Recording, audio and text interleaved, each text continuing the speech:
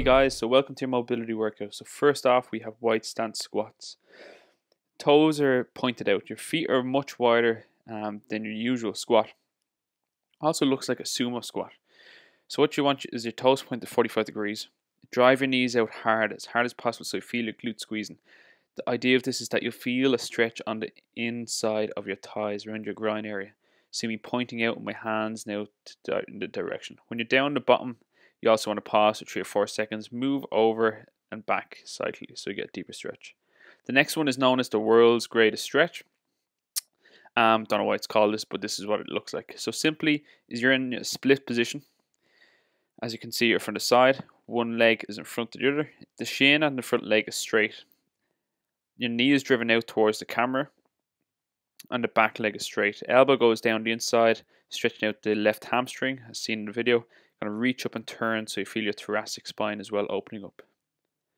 Next up, guys, is you have um, what's known as a cat stretch, which is seen in a lot of um, yoga and Pilates studios.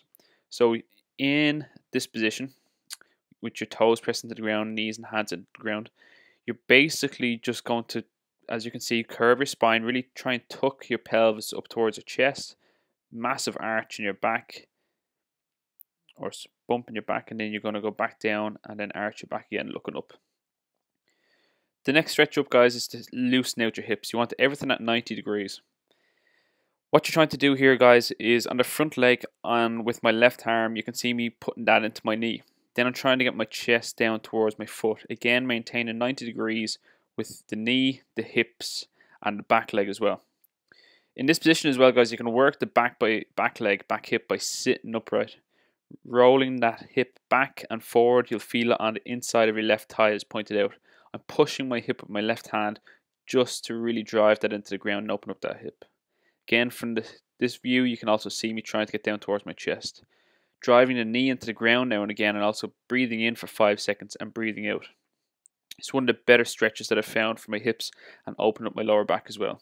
So see here, you can see my hand pointing down. I'm driving my knee into the ground and then I'm breathing out, relaxing and getting deeper into the stretch. As you can see now, I can get a little bit deeper. Next up then, guys, is basically you're just going to twist over. This is the way you want to maneuver from side to side. Also, this can be a stretch, a dynamic stretch in itself. It's just that twisting movement over and back, changing from, from side to side. Again, you want to do a minute on each side twice. Once you've done that, guys, and you feel your hips open up a little bit more, then you can turn the shown opening up your hips internally and externally, trying to stay upright. Then, guys, you'll be ready to squat in a better position and you'll feel, feel more loosened up.